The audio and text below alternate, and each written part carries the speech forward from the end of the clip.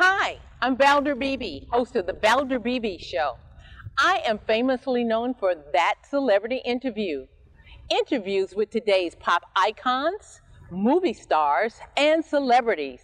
Tune into our FM radio broadcast and our online broadcast.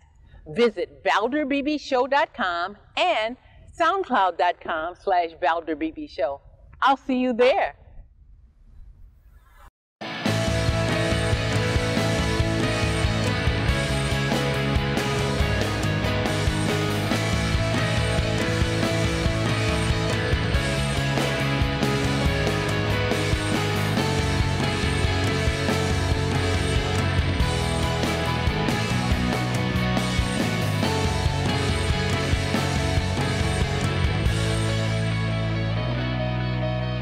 Good morning, Dr. G. Thank you so much for gracing the Valder Beebe Show here live in Dallas, Texas. I really appreciate it. Well, you're an internationally respected parenting and youth development expert, and I found out you're the doctor, uh, you're the founder of AskDrG.com. I am. Well, I want to talk to my parents or my audience about don't sweat your child's fever. They told me you can dispel some myths and misconceptions about pediatric fever. Absolutely. All right, let's get started. What can you tell my audience? You know, one of the things that really makes parents nervous when they think their child is sick is how high is this temperature going to go and what's dangerous and how do I know safely? How can I really check? And really, the safest way that you can check your child's temperature and have the confidence that you're getting an accurate reading is with Braun's ear thermometer. And that's because in the ear canal, you've got at the end of it, you've got the tympanic membrane, the eardrum, and that shares the same blood supply as the temperature control center in the brain. So you know when you check your child's temperature there that even though it's comfortable for your child and it only takes a couple of seconds, you're getting a really professionally accurate reading. Okay, I'm going to take this Facebook question for you, and it says that I'm a grandparent caring for my grandkids. Can Oh, I use this comfortably? You really can. It's very easy to read and it's not difficult instructions. As a matter of fact, probably like a lot of electronics, your grandchild can teach you how to use it very easily. All right then. Why is it important to reduce a child's fever, or what is a fever usually saying to us?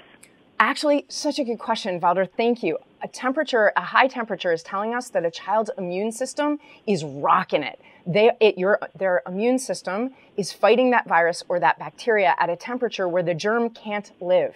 But it's almost never dangerous to the child to have a fever. So if that child in front of you is drinking well and staying hydrated and can express to you how they're feeling, you probably don't have to reduce it. But if you're worried, look at the whole child, not just the number, and call their doctor and ask what the next best steps are. All right then. And you know, we've got Teladoc now. I just love that. It's so Jetsony. I love it. You can just call in and get the doctor on your Skype. Love that, Dr. G. Okay, so uh, does fever cause brain damage?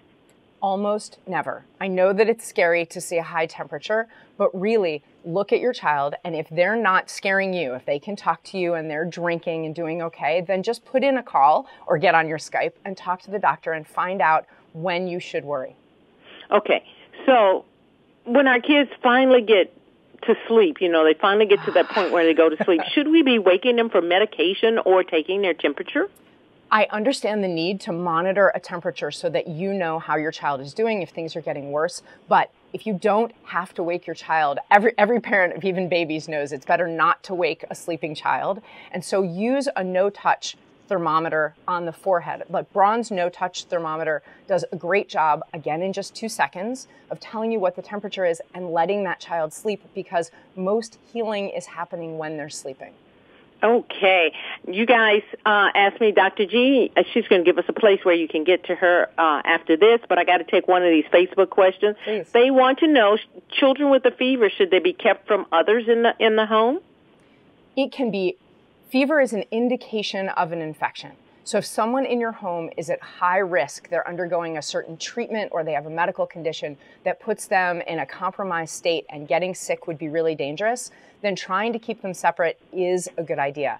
In general, viruses are great at spreading. So focusing on hand washing, teaching your child to speak up when they're not feeling well so that they can keep other people in the home safe, these are really good methods. All right. I see all of you guys' Facebook questions. I thank you so very much, but I can't take them all in. I'll take one more. Dr. G, this is for you. They want to know when infants have fever, is it more dangerous than a toddler?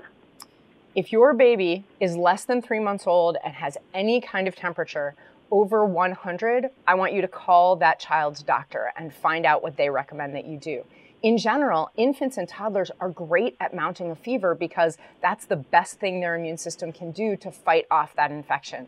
But really, if you're worried, you should contact someone because you don't have to hold yourself entirely responsible for knowing if they're dangerously sick or if they're doing okay. Dr. G, that is such great advice. Where can my audience get this kind of advice that they need, obviously, because my Facebook page, as my kids say, is blowing up?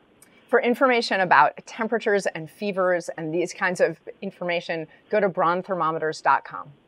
Thank you so much. And remember, ask Dr. G. You can go there and get some great advice also. Dr. G, I want to thank you for gracing the Valder Beebe Show. Valder, thank you so much and your audience.